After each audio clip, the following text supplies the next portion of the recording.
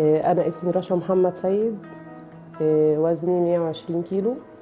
هعمل عملية تكميم معدة مع دكتور كريم صبري. آه، عرفت دكتور كريم اتفرجت عليه على قناة دريم وكنت متابعة ال group بتاعه والصفحة بتاعته على الفيس.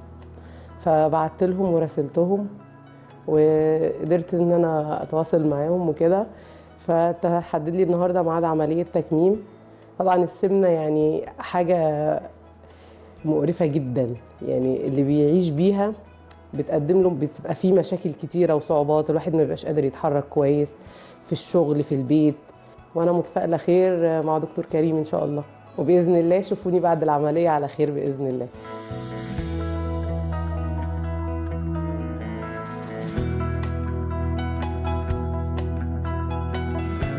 بسم الله الرحمن الرحيم. أنا دكتور كريم صبري. مدام رشا 120 كيلو. النهارده هنعمل لها تكميم معدة. الالات المستخدمة في آه، جراحات ال- ال- السمنه عموما يعني هي بندخلها خلال فتحات صغيرة خلال بورتات آه، مناظير بالشكل ده. بتبقى يعني فتحات صغيرة جدا. آلات المنظار إحنا بتبقى آلات ديليكت جدا. يعني السمك بتاعها صغير جدا بندخلها خلال آه، بورتات أو فتحات المنظار الصغيرة. دي آلات طبعا بتستخدم لفصل الدهون عن المعدة. الدباسة الجراحية آه، دي طبعا بتدخل خلال فتحات المنظار الصغيرة بيبقى آه، آه، فيها أنواع الدبابيس المختلفة بالأشكال المختلفه زي دي ألوان مختلفة. يعني ده غيار أخضر بيمشي في المعدة طول 6 سم ثلاث دبابيس يمين وثلاث دبابيس شمال وما بينهم بيقص بالنص. الألوان مختلفة طبعا زي اللون ال blue ده. في ده ده دي Covidien. دي دباسات طبعا جونسون هم يعني دول شركتين أمريكيتين. ويمكن العملية بتستغرق من نص ساعة لساعة حسب الوزن يعني قد تزيد شوية أو تقل شوية على حسب آه، وزن المريض. ربما في أوزان فوق ال 200 كيلو آه، في أوزان صغيرة آه، بتبقى 120 110 إحنا طبعا بتقعد معانا في اليوم ليلة في المستشفى بعد الإجراء العملية وبالتالي بتخرج بالسلامة في خلال 12 ساعة ما بعد العملية إن شاء الله.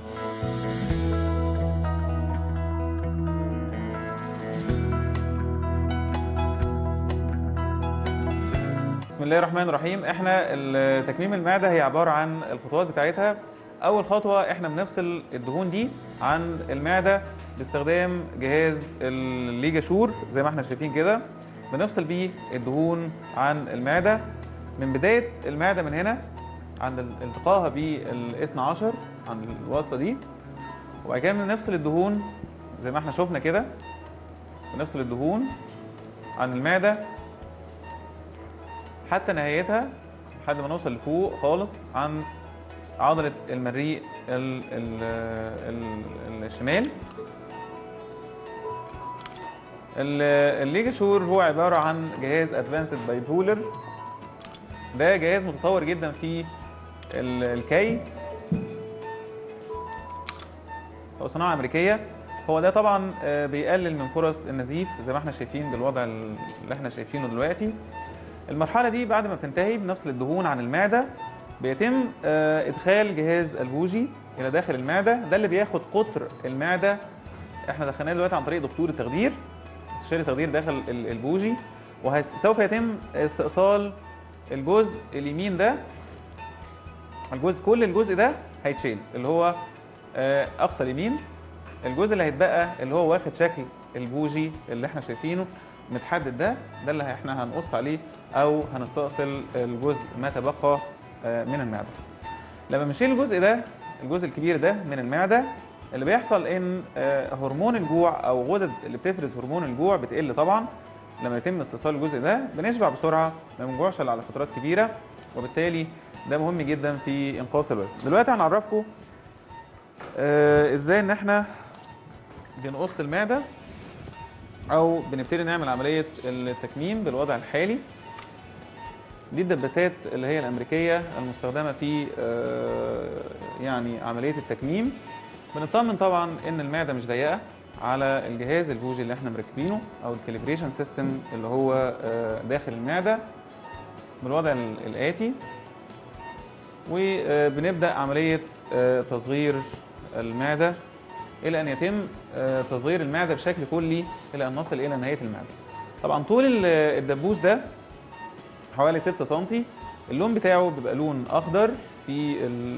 يعني في أسفل المعدة لأن جدار المعدة أو سمك المعدة طبعا بيبقى آه، يعتبر برضو آه، سميك شوية وبالتالي الدبابيس اللي هي ال- الأخضر أو اللون الأخضر هي دبابيس يعني معدة لأن هي تشتغل في الأنسجة السميكة شوية. دي الطريقة بقى اللي الدباسة بتشتغل بيها. بتدبس ثلاث دبابيس يمين وثلاث دبابيس شمال. إحنا دلوقتي دبسنا والدباسه بتقطع دلوقتي اهوت بالطريقة اللي إحنا شايفينها دي. اهو. يعني إحنا ممكن نقرب شوية بالكاميرا. ال- دول تقريبا دول ثلاث دبابيس أقصى اليمين وأقصى الشمال. الدباسة آه، دبست يمين ثلاث دبابيس وشمال ثلاث دبابيس وقصت في النص بالشكل اللي إحنا شايفين- شايفينه ده. لازم نحافظ على المسافة اللي بيتحرك فيها البوجي أو ال calibration system بحيث إن هو ياخد شكل المعدة المظبوط. آه، نتفادى إن المعدة يكون فيها نوع من الضيق. أو الالتواء ما بعد آه، إجراء العملية. ده نفس الطريقة بتدبس ثلاثة يمين ثلاثة شمال وبتقطع في النص. بنفس الطريقة اللي إحنا ماشيين بيها كده. ال calibration system المستخدم آه، يعني من وظائفه طبعا إن هو بياخد شكل آه، مستقيم وبيدينا فكرة عن قد إيه الجزء المتبقي من المعدة. إحنا طبعا آخر آه، دبوس زي ما إحنا شايفين كده لازم يستأصل كل آه، اللي هي الفندس أو قبة المعدة كلها لأن الجزء ده زي ما إحنا شايفين كده يعني العضلة بتاعته ضعيفة فبيتمدد لو إحنا سيبنا جزء كبير منه.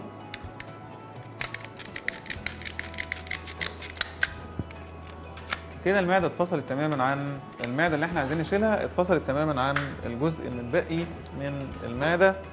هنعمل دلوقتي اختبار تسريب. في احتياطات وجبه طبعا إحنا بنعملها. زي ما إحنا شايفين كده ده حجم المعدة المتبقي. ممكن نرجع بقى بالبوز شوية. بياخد حجم المعدة زي ما إحنا شايفين كده بالوضع اللي إحنا شايفينه. بعد كده بنحقن المعدة ب 50 سم سلاين آه، ملون بحيث إن هو يضغط على الدبابيس بالشكل الحالي. زي ما إحنا شايفين كده أهو. المعدة دلوقتي واخدة شكل آه، يعني بالوني شوية أهو بالمنظر ده بحيث إن هي نستوعب طبعا إذا كان في أي مشاكل في الدبابيس اللي إحنا آه، يعني دبسناها منعا للتسريب أو وقايه من التسريب. ممكن ندخل بجهاز البوجي تاني.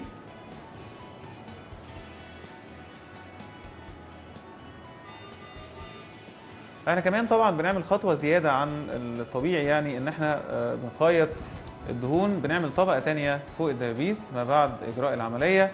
كوقاية لي آه، من التسريب وكوقاية من النزيف. هنوريكم الطريقة اللي إحنا بنعمل بيها كده بعد شوية. بعد ما بناخد آه، طبقة تانية من الخيط على آه، يعني بعد الدبابيس يعني بنعمل طبقة تانية من يعني يعني التقوية للدبابيس. بنحاول نطلع المعدة بالصورة اللي إحنا شايفينها دي. وده بيكون شكل المعدة بعد ما خرجناه من ال- العيان. بعد كده بنطمن على آه، ضغط العيان قبل ما نخرج. بعد اخذ الطبقة الثانية من الخياطة ما بعد الدبابيس بنطمن على ضغط العيان. بنطمن ان مفيش نزيف مفيش أي تسريب بعد اختبار التسريب. بنخرج من العيان وإن شاء الله نطمنكم عليه بعد العملية.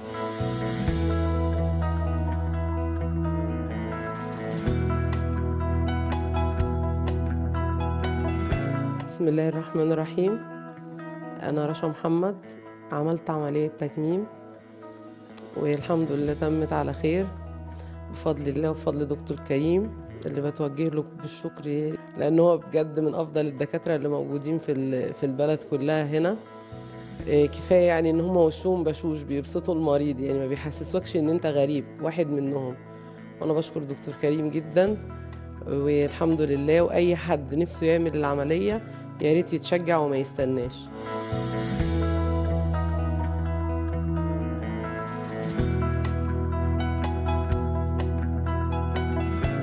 بسم الله الرحمن الرحيم. إحنا بنطمنكم على آه، مدام رشا الحقيقة طبعا إحنا عملنا آه، تكميم معدة. هي عملية سهلة آه، الهدف منها انقاص الوزن.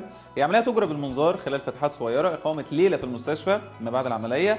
يعني خلال 12 ساعة بنكون مروحين بيتنا بسلامة. نقعد يوم في البيت بعد الخروج يعني وبعد كده ننزل شغلنا عادي. الحقيقة طبعا إن تكميم المعده هي عملية فعالة في إنقاص الوزن وعلاج الأمراض المصاحبة ل آه، يمكن السمنة المفرطة. آه، يمكن كمان عملية تكميم المعده هي من العمليات قصيرة الوقت في آه، الإجراء بتجرى بالمنظار. الريهابيليتيشن بتاعها برضو أحسن يعني يمكن عمليات أخرى. يمكن بعد ساعتين بنبتدي نتمشى ست ساعات بنبتدي نشرب بنخرج في خلال 12 ساعة.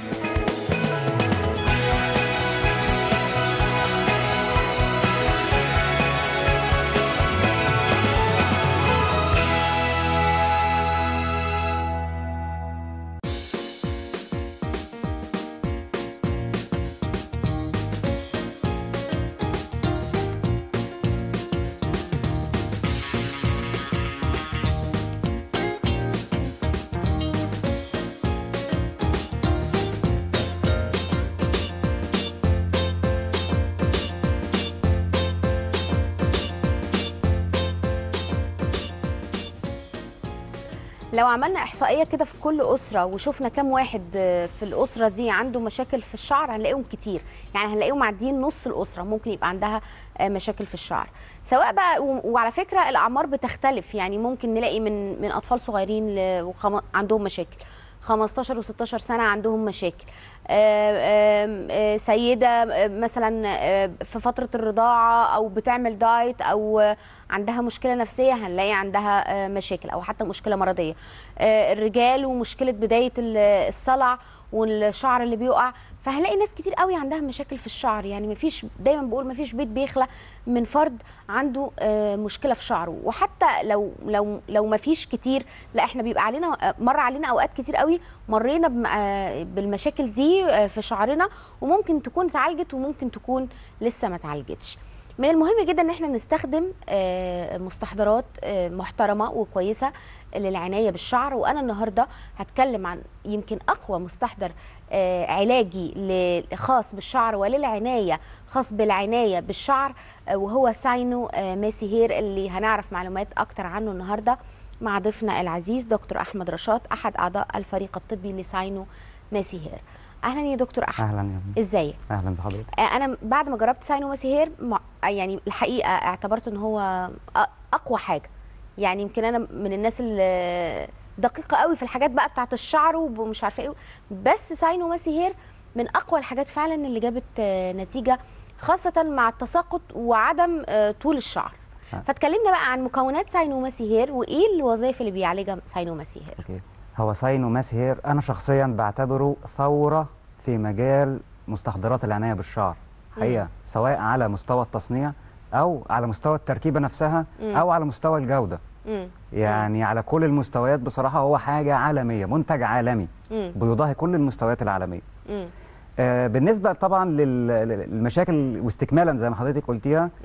أنا مش بقول 50% من الناس أنا بقول ممكن أكتر من 80% لا خليهم من 90 لأن الناس. فعلا ما يعني بالظبط. كلنا. نسبة كبيرة جدا. آه. في حاجات أسباب كتيرة جدا بتعمل مشاكل للشعر ومشكلة التساقط. دي مشكلة شائعة بشكل أكتر ما إحنا كمان متخيلين. آه. هقول لحضرتك أسباب يعني ممكن يكون ناس كتير قوي ما عن- ما عندهاش فكرة عنها. امم عندي مثلا سبب زي الناس مرضى الضغط. شوفي حضرتك. طبعا. يا خبر أبيض. ضغط الدم. نص الناس عندها الضغط. أيوه.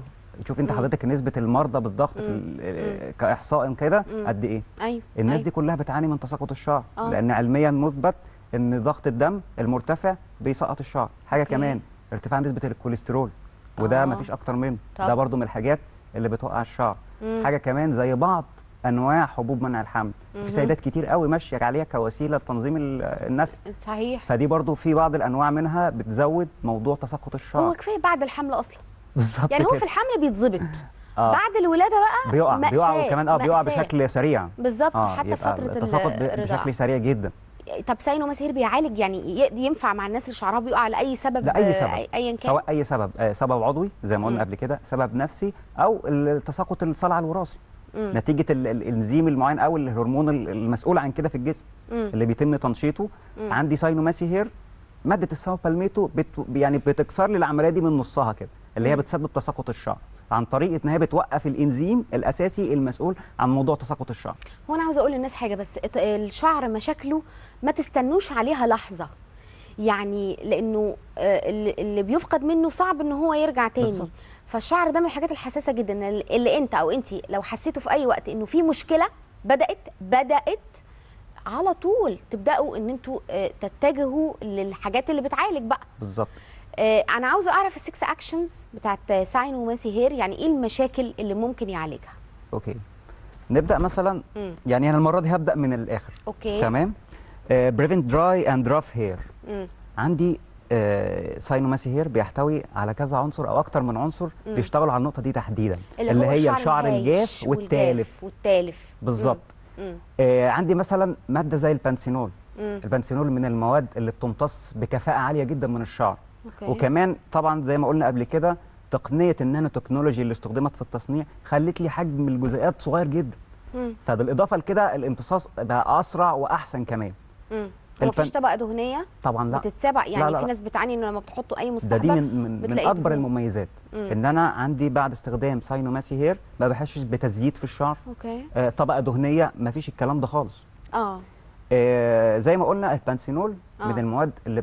ليها دور كويس جدا اولا في تغذية الشعر مم. تاني حاجة إن هي زي ما بتقول بتغلف الشعر بطبقة.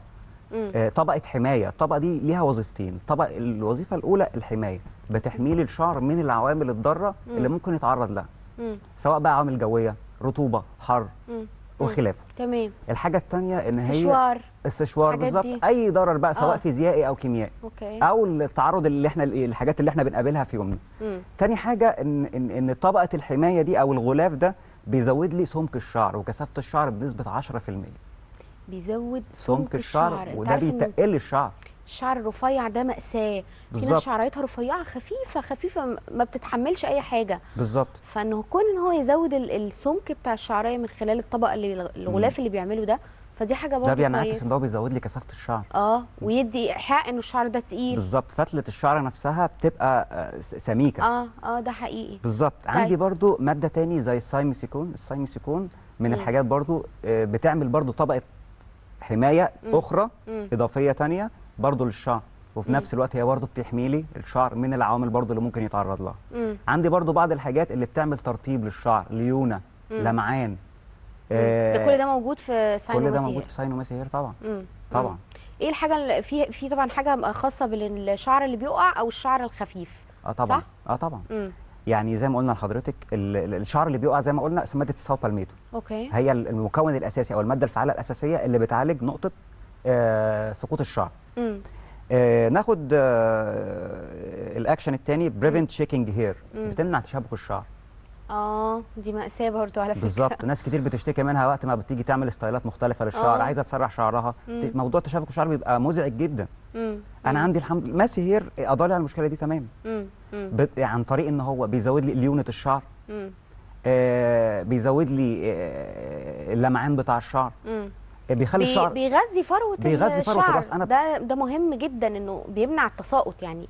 يعني التساقط ده مأساة. يعني بالظبط. في ناس كتير بتعمل كده تلاقي الشعر بطوله بينزل في إيديها ولا تيجي تاخد shower تلاقي شعرها بطوله بينزل. بالظبط. فكون إن هم يستخدموا حاجة تمنع التساقط ده دي حاجة كويسة هو جدا. كمان مش بس بيمنع التساقط يعني ساينوماسي هير من ال... مش مش مش فكرة بس إن هو بيعالج.